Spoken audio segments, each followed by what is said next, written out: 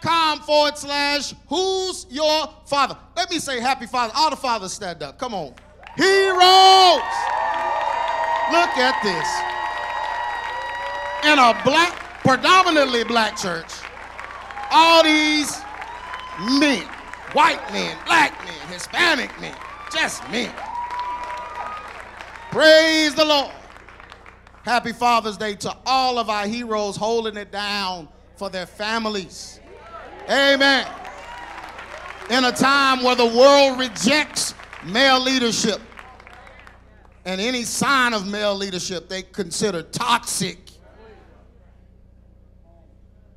But thank God we know who God made first and who he gave dominion to. And we know why he made woman. Amen. And I don't demean you as a woman. Amen. But you just better know that the man is the head according to the Bible. How do people read stuff in the Bible and skip over stuff? It's, oh, well, that part, see, Paul was having an episode. What? Amen. Amen. But we love our women. We respect the mothers and all that. But we already had Mother's Day. It's Father's Day. Amen. All the money I spent on children.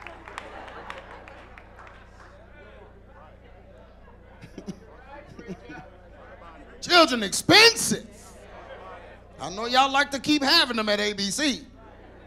But oh, somebody need to count the cost. That gets expensive. I only had three. Man. You know, we went on our trip, and it's so funny. We went on the trip, you know, our whole family, our family, Landon, uh, Jonathan, and my wife, and Vicky Camp, and their parents, uh, Bishop Logan, and all them. So we was all just hanging out, and man, they just expect us to pay for everything. They sitting around coming up with ideas. Okay, just planning stuff. Oh yeah, okay, we gonna go do this and that and this. Has anybody looked at the price sheet? Jonathan had his whole day. Okay, we're gonna go to the aquarium. Then we're gonna go see the dinosaurs. Then we're gonna go. I'm like, nobody is checking the price list.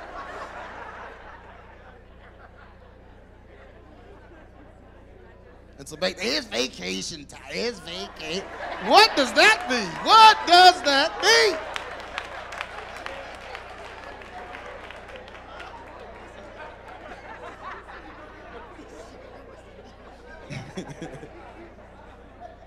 Man, there's a lot of folks. And you got to pay for everybody's food. Oh, Lord. no, we had a good time. But it's, it's good to, man, it's good to be able to do that, though. That's a man's job. And it's a man's job to say, we can't afford that. I thank God I didn't have to say that, but amen. There was a time. There was a time when we were eating spaghetti. Spaghetti was the $5 meal. Remember that? And I, we just go get the sauce in the can, the, the package of noodles, and the meat in the tube. The tube meat with all the blood when you cut it open. Y'all don't know nothing about the tube meat. And it better have the reduced sticker on it. Half of it is already cooked for you. It's already brown. Y'all don't know nothing about that. See, y'all don't know nothing about that. Folks see what you have now, they don't know. They don't, they just don't, they don't know. That's what we ate. That was our meal. We go get the Pepperidge Farm uh, garlic bread. And I'd cook it. I'd go in there and man, Benihana. Oh, that's that's Japanese. Olive Garden with that $5 meal, and it fed us. Fed him. Look how big that boy is. He was, he was eating something. They didn't care. I mean, we did what we got. And that's the limit. I mean, now I can go and they can eat what they want or whatever, but it wasn't always like that. Amen. Don't you be trying to do what I do now. I'm 50, about to be 52, and you in your 20s and 30s? Ain't nothing wrong with a $5 meal. And quit trying to shop at Whole Food all the time.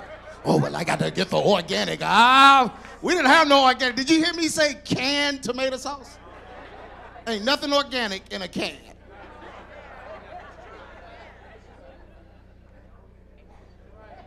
We couldn't get the Prego. the jar. We have to do what we have to do, man. And you have to do what, look at somebody say, we got to do what we have to do.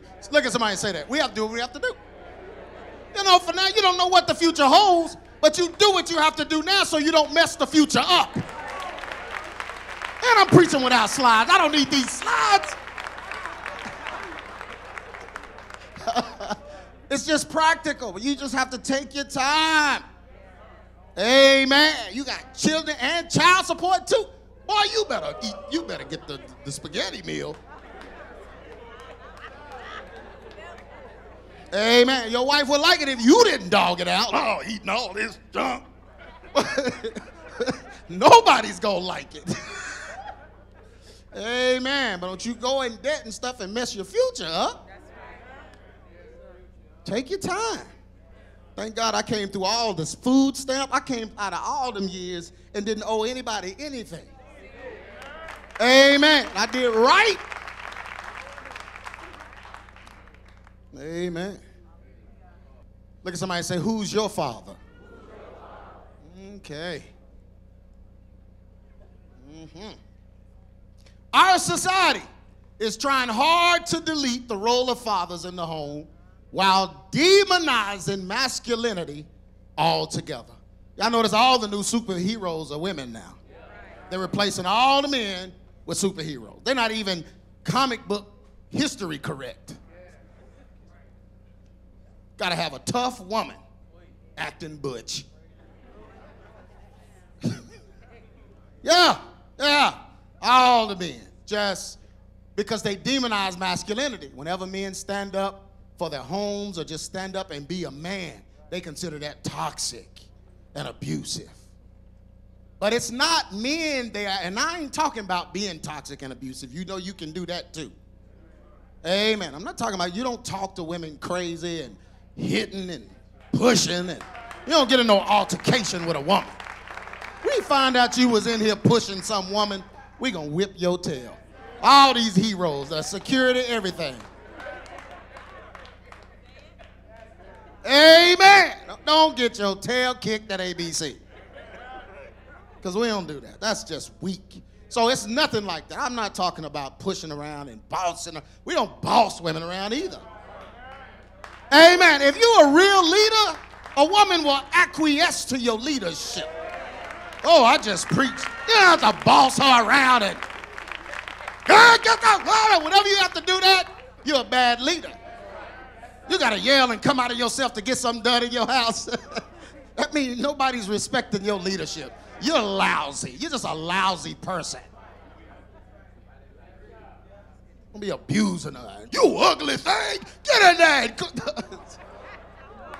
and if he call you ugly, you know what you tell him? You married it. You married it. Let's see how ugly I am tonight. I'm going to show you ugly.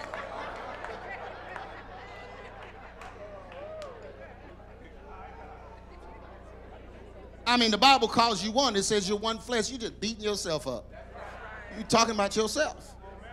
You are spiritually and literally, because that's your decision. Amen. So you respect, we respect women. Don't get mad and go off and all that. No, we respect them. But we do know that we are the head of the home. So the weight of it lies on the man. A woman's body wasn't even designed to carry the weight of a home. And I appreciate you single mothers in here. You're doing what you have to do. Do what you got to do until something changes. You have to do what you have to do. But that's not God's ideal order. Amen. Amen. But it's not men they're after. So society is trying hard to delete the role of fathers in the home while demonizing masculinity altogether. But it's not men they are after, it's the Spirit of God they're trying to stop. That's all this is about. The Spirit of God. The Bible tells us in Mark 3 and 27 no man can enter into a strong man's house and spoil his goods except he first bind the strong woman. No. He must first bind the what? Strong man, and he will what? The devil is trying to spoil the house. He spoils the house by doing exactly what Jesus said he would do. Bind the what? Strong man. They've been trying to delete the man all throughout the history of the United States and everywhere else. Delete him. Delete him. Whenever a society, a society rose up and became pagan, they would have a figurehead king who was under the control of a queen. She wasn't under if she wasn't under control, I mean if it wasn't under control of the wife as a queen, it was under the control of the mother of the king. Check your history. Check your history. Yeah. Always some witch. And every society where that rose up in crumbled and was torn down. They never last because the Bible, look at somebody say the Bible said. Because the Bible said, if you want to spoil the goods of your home, that country, or wherever it is, bind the what? Strong man. I, I, I feel like I'm preaching. All right. Before the return of Christ, the Spirit of God comes to turn the hearts of the fathers where? Back to the children. How do I know this? Because when the announcement of Christ was to come, uh, when he would, was to be born, and Christ was to come in the flesh, the Bible said that there was one that was coming before him that had the spirit and power, like Elijah, to bring the hearts of the fathers to the children. What is that? He's readying the people for his entrance. And just like he did in the New Testament when Jesus was born, he's going to do the same thing. He's doing the same thing now. It's our ministry. Reconciliation to fathers. Reconciliation. Amen. How many of you reconciled with your father since you've been here? Men. Uh, look at that. Women everywhere. Yeah. Some, some, some people in there hadn't talked to their father in years. But that reconciliation, that's preparing our hearts for the return of Christ. You can't have bitterness and hatred in your heart when Christ returns because to Christ, that is sin. It's a sin to be bitter, it's a sin to be angry, and it's a sin to carry hatred. Amen. Quit looking at the big sins. The old axe murderer and oh, yeah, you call that a sin. The whiskey drinker. and you carrying hatred is all sin. So before the return of Christ, the Spirit of God comes to turn the hearts of the fathers back to the children. This is what Satan is what? It's what he's trying to reverse. He's trying to reverse what this what the spirit and power of God is going to do. Luke 1 and 17, speaking of John the Baptist, and he shall go before him, preparing the way. He was called to prepare the way and the Bible describes it as him going before Christ in the spirit and power of Elijah to turn the hearts of the fathers to the children, the disobedient to the wisdom of the just, and to make ready a what? People what? Prepared for the Lord. He's doing the same thing now, preparing his people for the Lord, turning the hearts of fathers to their children. Amen. The world has created myths that children do not need their fathers and that all strong men are abusive and toxic.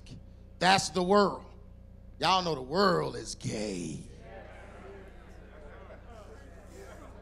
They promote the LGBTQ and all them other letters. You know, the LGBT flag got Negro colors on it now. Yeah, it used to be the rainbow. I ain't never looked in the sky at a rainbow and seen brown and black in the rainbow. I don't even know you can project that on in the sky. You ever seen that? Leave God's rainbow alone. Amen. And if you knew what you was doing, they're mocking the rainbow. They're mocking it. The devil selected the rainbow purposefully. It's not a coincidence, and it don't mean multicolors and all of that. It don't mean any of that. They selected the rainbow as mockery of what happened in Genesis 6. Mocking Jesus, I mean God's promise that he would not destroy the earth with a flood again. So they mock, they're mocking that. But the Bible tells us he's not going to use water again. What is he going to use? fire.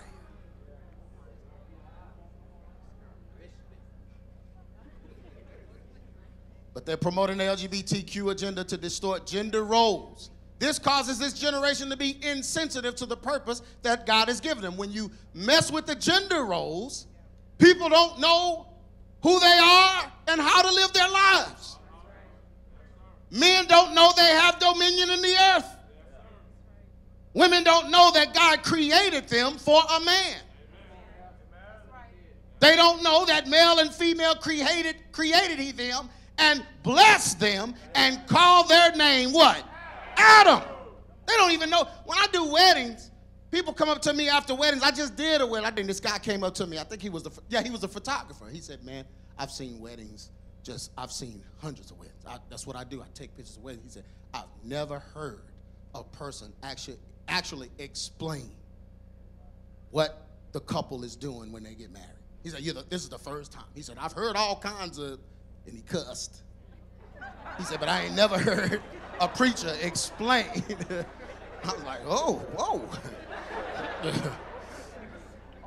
he said, I've never heard a preacher explain it because I explained, I explained that. Even the uh, created them and blessed them and called the name Adam. Why you take the man's last name?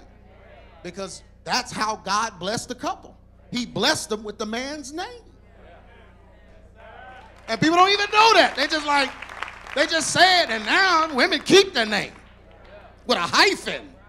I wish you what? But they, they do that because society is telling them to do that, and they don't really even know the meaning behind it. I change my name. Why do I take it? They don't even know. God did that first. they promote the LGBTQ agenda to distort gender roles, which cause this generation to be insensitive to the purpose. So, this whole generation is insensitive to the purpose that God has given them. Romans 1 and 28. And even as they did not like to retain God in their knowledge, God gave them over to a reprobate mind to do those things which are not convenient. They were being filled with all unrighteousness, fornication, wickedness, covetousness, maliciousness. That's 2021 maliciousness, full of envy, murder, debate. That's 2021. Full of debate. Like you can't even witness to somebody without them coming back with something. Being filled with all unrighteousness, fornication, wickedness, covetousness, maliciousness, full of envy, murder, debate, deceit, mal- uh, malignity, and whisperers. Y'all know that's a demon that whispers? whispers folks' business and gossip and tearing people down, whisper. breath always stink. Your breath stink if you're a whisperer because what you're saying is funky.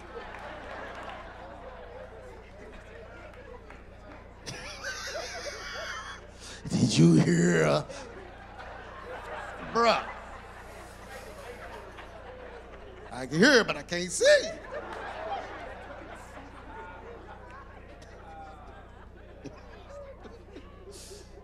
Look at somebody say, Don't be a whisperer. Amen. Quit gossiping. God made man in his image and likeness so we could adapt his ways and function as his representatives in the earth. You know how we represent God in the earth? By functioning in our roles. The first thing God made when he made us was our roles. You want to glorify God as a man? Get a job. Take care of your family.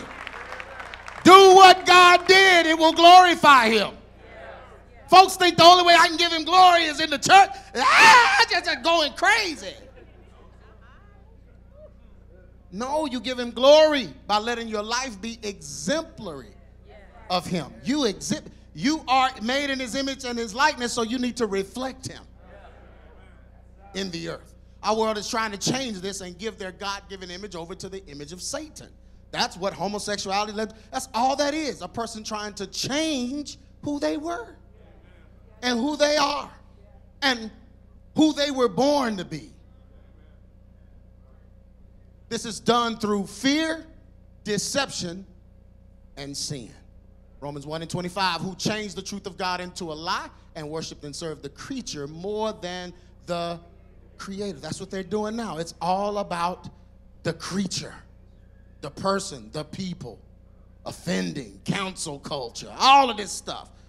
Who you're hurting, who you're offending. Don't say that. Don't say this. Don't say. Some of this stuff needs to be said so folks will change. I wish y'all would listen. Oh. When we practice sin and give ourselves over to it, we do what? Change our image into the image of the devil. So when we practice a sinful lifestyle, we change our image from what God wanted for us to what the devil wants from us or for us. Amen? That's why we don't live in sin. Look at somebody and say, don't practice sin. He becomes our father, and we mirror his behaviors instead of God's behaviors. John 8 and 44. Ye are of the father of your father, the devil, and the lust of your father ye will do. He was a what? Murderer from the beginning, and abode not in the truth, because there is no truth in him. When he speaketh a lie, he speaketh of his own, for he is a liar and he's the father. Man, if you being of your father, like Jesus said, the devil, your father is a liar. And you know why he's a liar? Because he's telling you you're somebody that you're not. He's telling you that there's a deficit in you that's going to hinder you and you won't achieve what God has for you. That's the kind of father he is. He tears down who you are, your hope of becoming who God said. He'll take the deficits, the missing father in the home, the missing mother, wherever you went through, the abuse, the neglect, whatever you went through, the devil will constantly use that to make you feel inadequate. Like something is wrong with you that's not wrong with other people that are successful. Or that not wrong with other people that are doing well. Something's wrong with you. And he'll keep saying that to you. I remember that old song, Don't Let the Devil Ride. Don't you let him ride, because if you let him ride, what is he going to want to do? He's going to want to drive. And oh, if he driving, y'all going to hell. he can go, he only knows one, di- his GPS only has one address. 666.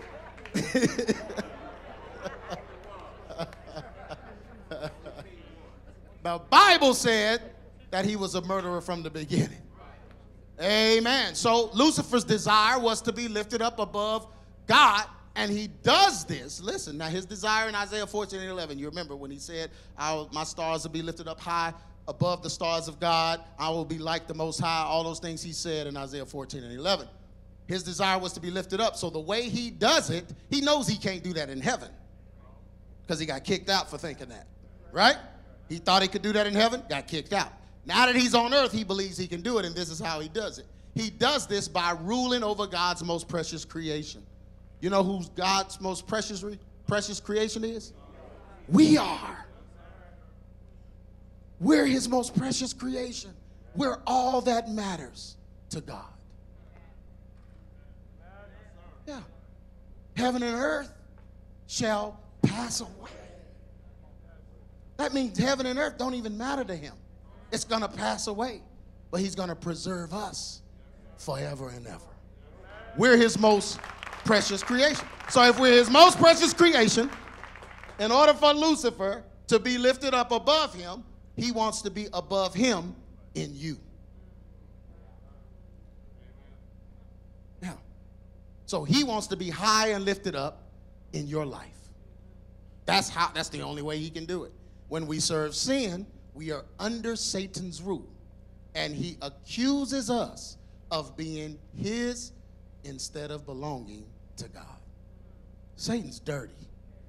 So he'll get you under his rule and then go tell God, see, they belong to me. The Bible says he does it day and night. He's the accuser of the brethren. Romans 6 and 16. Know ye not that to whom ye yield yourselves servant to obey, his servants ye are to whom ye obey, whether of sin unto death or of what? Obedience unto righteousness. So when you yield yourself servant to the devil, you become his servant. Can I preach an old timey holiness message? Okay. That's what we do. Amen. The devil knows if people become insubordinate and lawless, they will not honor God as their father. Yeah. This is why they are sparking all of this hatred, protesting, all of this stuff, because the devil knows once people cancel the police and defund the police and just become insubordinate and lawless, they're not going to honor God as their father. Just as so many are hateful, vengeful, and unrepentant toward their earthly fathers, they will have this same disdain for God. So the devil wants people to hate their earthly father. That's where it starts. If you hate the earthly father, you'll start disrespecting authority. You'll start hating authority. You'll start hating masculinity and calling it toxic. Yeah. Then you'll start trying to feminize God like they do the paintings of Jesus with the long hair and the, you know, Michelangelo and those guys' depiction of him. They feminized it, made him look, you know. No, Jesus went in there and tore a whole, tore some tables up. I know he wasn't slinging hair like that when he was tearing the table. No, but that's somebody's, somebody wanted him to look that way because it makes him, you know, soft. But Jesus was meek, not weak. Amen. There's a big difference. But yeah, you'll begin to do that. Then, then they'll start saying God could be a he or a she or whatever. I saw on the Fresh Prince. I never knew that was on the Fresh Prince of Bel Air where they did the prayer and they said, "Ah man," and little Ashley said, "Ah uh, woman." And thank you for bringing this family together in love and peace. Amen. Amen. Woman. That's on an episode of The Fresh Prince. Yeah, but they have to feminize him because this disdain for their fathers, earthly fathers, this hatred for their earthly fathers, is eventually going to become hatred for the biblical God. Now, they'll create a God, they'll create an image of God in their minds. It won't be the biblical God. The biblical God going to make you act right. Yeah, that's why they veer away from him. He has roots. Revelation 17, 13, and 14. These have one mind. This is our time. Y'all pay attention to this. And shall give their power and strength unto the beast. These shall make war with the Lamb, and the Lamb shall overcome them, for he is Lord of lords, King of kings. Now, the reason I put the scripture in here is because I believe that we are seeing the gathering of those that have one mind. I've been preaching about the hive mind for 20 years, telling y'all the connectivity and how they're going to connect us all and how they're going to have the one world mindset. Everyone's going to be thinking the same thing. Everyone's going to be tethered to some kind of device, and that device is going to be outputting a message from the powers that be to get everyone thinking the same thing. This is what they tried to do on the, with the Tower of Babel. God stopped it because it wasn't time for the world to end. Because even God said, if I let them continue doing this, they will achieve it. Isn't that what the Bible said? said they would achieve it. So he confused them by confusing their languages. Well, now they have Google Translate. You don't have to know someone's language to communicate. So they're building this one world mindset all over again. Everyone tethered together. The one world alliance the hive mind. All your information in the cloud, manipulated by them, the powers that be. They're all coming together because they're going to make war with Christ when he returns. Now, I know you say, now who's going to fight against Christ? They hate him now. Church folks hate him, saying he's the white man's God. They are lining up an army that is going to try to fight against the King of Kings. And the Bible didn't even go into a whole lot of detail. It just said, oh, they're gonna do, they're gonna make war with the Lamb, and the Lamb shall overcome them. I mean, who we talking about? That, I'm sure the writer wanted to say, now who we talking about? Yeah, but it's coming, and you can tell it's coming. They are making war. Many claim to be servants of God, but their behavior is against him. carrying hatred, malice, and revenge in your heart is not, look at somebody and say, that's not of God. You can't be of God carrying hatred, malice, and especially what? Revenge. I want my reparations. Critical race theory and all this stuff. Just uh, you, you carrying revenge, brother, in your heart. It's not of God. His spirit brings deliverance from these sins and is not a catalyst for them. So when you feel with his spirit, you feel with his love, his joy, his peace, his long suffering, his gentleness, his goodness, his faith, his what?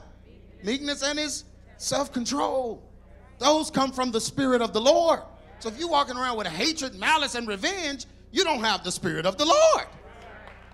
His spirit counters that behavior. Galatians 5 and 22. Amen. To serve God is to try to live a lifestyle that reflects Him. His feelings are your feelings, and His commands are your boundaries. Woo, this is serving God. You want to serve God? Make His feelings your feelings. Now, you want the way you know His feelings is you have to read His Word. Amen. You can't be reading Iyanla Vanzant's book and know God's feelings because she don't know what she's talking about, and she's a witch. No, you have to know what the Bible said so that you'll know his feelings. You'll know how he feels about it. You about to fornicate? Read how he feels about fornication. What's wrong with it? Why can't I have me a little something, something? What? Don't you understand that that leads to immorality? That may lead to some kind of other sin? That's a sin against humanity. It's a sin against your own body. And there's a reason it's a sin because it messes stuff up. It messes stuff up. So you can't just decide what you want to do. You have to know how he feels about it. And you know that by reading his word. Amen? And then his commands become your boundaries. That means I'm not going outside of this because God won't like it. You need to train yourself to think that way. Oh, this is going to upset God. And I might need something from him. but his feelings are your feelings, his commands are your boundaries. Serving God as your father requires you to repent, turn from sin, and prove you are truly like him. You know, you have to prove it. Lord, thank you for filling me. Prove it. God, thank you for coming into my heart. Prove it. Prove it. Thank you for saving me, Lord. Prove it. Look at somebody. Oh, no, there's no proof. No, it, you. 2 Corinthians 13 and 5. Look at somebody say, examine yourself. What do you think an examination is? That's finding proof. Well, if you say you're saved, if you say you feel, your behavior ought to reflect it. You ought to prove it. You say you're saved and you're allergic to the Bible?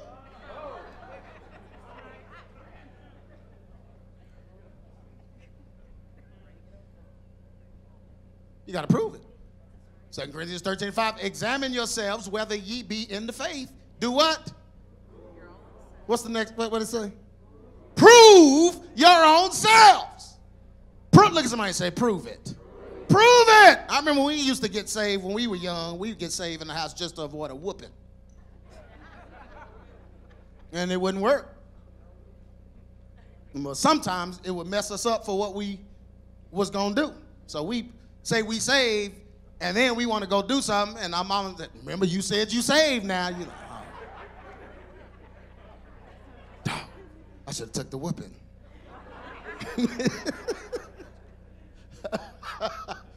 yeah, but you got to examine yourself. Know ye your own selves how that Jesus Christ is in you, except you just a reprobate. Summary! This was a good message to me. I know it wasn't the typical Father's Day and all the fathers encourage you and you go for it. No, no, no, no, no. We need to make sure we all have the right father. Amen. Sometimes our earthly father didn't do what they're supposed to do. Sometimes they weren't where they were supposed to be. Sometimes they caused a bunch of grief in our life, whatever the case.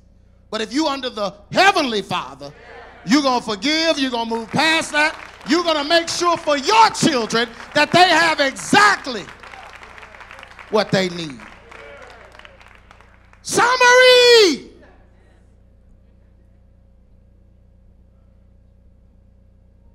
It's a long summary with pictures. Today, multitudes of people are uh, multitudes of people struggle with sin and shame because of the absence of a true strong man in their upbringing. It is a father's job to be like God in their homes and guard the hearts and minds of their offspring. Thank you. Thank you, Andre. I love when you here. He know all the right claps. I know he grew up COGIC. it is a father's job to be like God in their homes and guard the hearts and minds of their offspring. Just as God protected his people from the plagues that the world suffered. Y'all know the whole world was suffering plagues and God's people was chilling. Chilling. Darkness everywhere but with God's people. That's something. Black darkness. Bible says it was so dark you could feel it. But God's people just I see you. I see you, man. What's up? I see just chilling. Man, God had it, had his hand on his people. Always does. So just as God protected his people from the plagues that the world suffered, a father should do the same and offer protection to his own children. Amen? Yes. But the devil has destroyed marriages, promoted immorality, which that's where a lot of children are born out of immorality. That's why God didn't want you to do it. Promoted immorality or caused many men to fail at properly guarding their children. This has created a generation of lawless children or children with severe deficits because they were abandoned, neglected, unclaimed, or abused at the behest of a wayward father. And that father was probably abused himself, and that's how he became wayward. The enemy did all of this to change the very purpose of God's creation. I believe, this is what I believe. I believe the devil felt that if mankind would turn against God like he did, then God would reject man as he was rejected. Why would you be an accuser of the brethren if you aren't doing it to get the people rejected?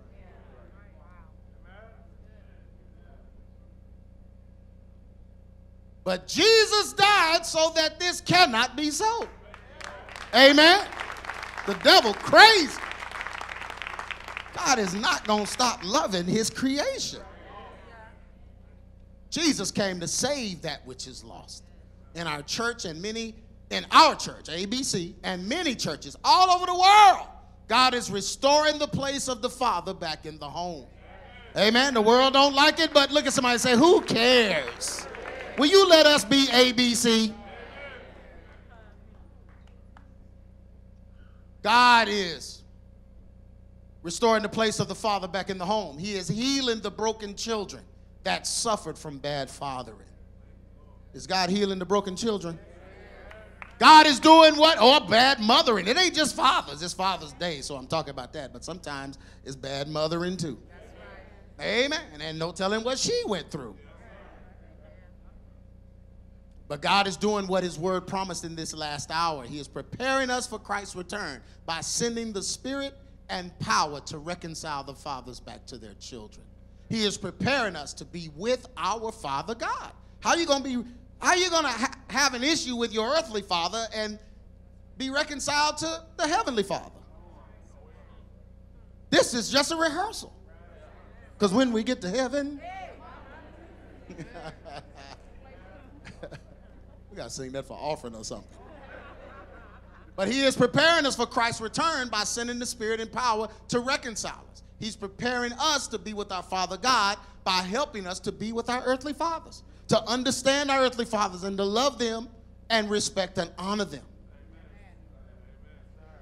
Not hold their, we're not holding their sins against them because we all have sin. Amen. The devil wants you to be with him and feel like he feels. I don't want to feel like the devil feels. That can't feel good. To know you going to hell, to know you are hell, I, that can't feel too good. I went to Arizona for four days and it was 118 degrees. Walk up to the car and the devil opened the door. Have a seat. It's hot. Man, it was so hot. You couldn't get cool.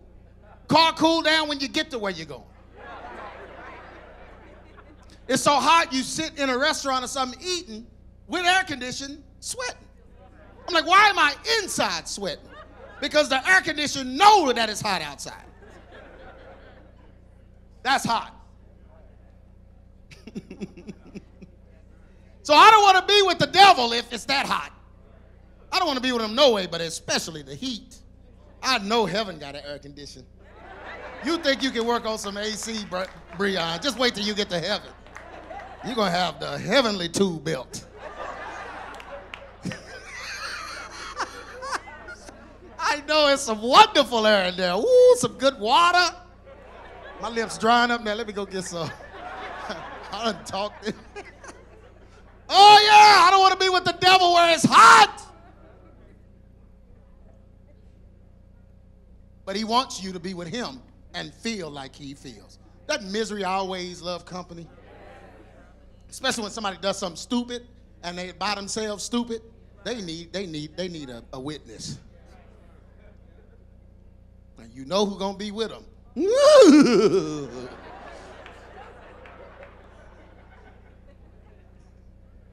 so he wants you to hate your father as he hates God. So the devil wants you to be with him and feel like he feels. He wants you to hate your father as he hates God. He wants you to lash out, steal, kill, and destroy as he does. He wants you to say and do things that you that will cause shame and regret to keep you from truly feeling the love that God has for you. It's hard to feel the love of God when you're feeling guilty because of stupid stuff you keep doing. The devil wants to be your father and wants you to feel the rejection of God like he does. Can I keep preaching? But Christ came to change the way you feel about yourself. He came to give you, amen. He came to give you a way to please God so that you can feel his fatherly love. Please hear me. Pay attention. No matter what you went through or who was missing in your upbringing, no matter how many times you were disappointed or let down, no matter how many mistakes and failures you experienced, no matter how many times you have fallen and disappointed yourself, no matter what kind of shame, regret, or guilt you are feeling even now, none of it matters if you accept the love of your Father God. Amen. He loves you. He loves what He made. Why are you tearing down, looking down, and speaking down on what he made? He knows what he made. And he said what he made is good. Why is your opinion against what he made? He's God. He don't make mistakes. He doesn't mess up. He has no error.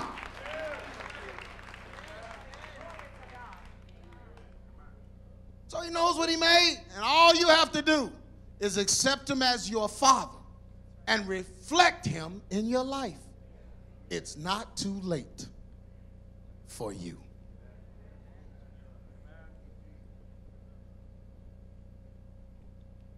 Second John 7 says, For many deceivers are entered into the world, and this is where we are now, who confess not that Jesus Christ is come in the flesh. This is a deceiver and a what? Antichrist. So look to yourselves that we lose not those things which we have wrought, but that we receive a full reward.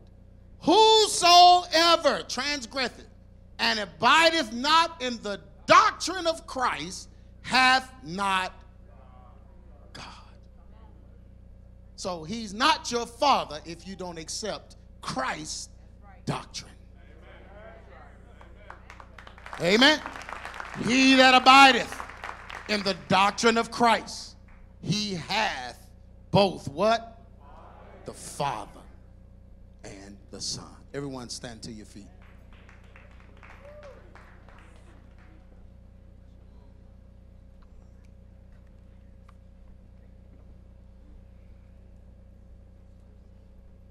Yeah, we want to make sure. See, I know this is a Father's Day message, and it's usually pointed toward us as fathers in here, but God is our Father.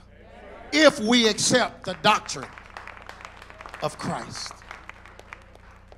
So it don't matter how you got here, it doesn't matter what's lacking, who's missing, what your earthly biological father may have done, may not have done, should have done. None of that matters at this moment. You have to be reconciled to him and then be reconciled to God. God said, when you stand before him praying, first do what? Forgive. Said in another passage, when you bring your gift before him, set your gift down and go be reconciled. So for him to be your father, you got to be reconciled. So I'm going to pray for you today, and I want you to come up if there's some lingering feelings, regrets, whatever it may be toward a father, toward you know, a male figure, somebody may have done something to you. I don't know what it is. And we don't want to know. We just want you okay. Let this Father's Day be the last time you deal with that in your heart. So just come up, whoever it is. Full forgiveness. I need full forgiveness for my father. I need full forgiveness in my heart. Come on. I don't want to be carrying around something about somebody. It don't have to be your father, about anybody. I got to let this go. Father's Day, let, let this Father's Day be the day you commemorate this. I got to be right. I got to forgive. I have to move past it. I have to let it go.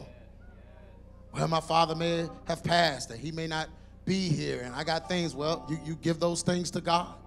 You give them to God today and let it go. Let it go. Don't carry resentment in your heart. Don't carry it in your heart. God is preparing us for Christ's return.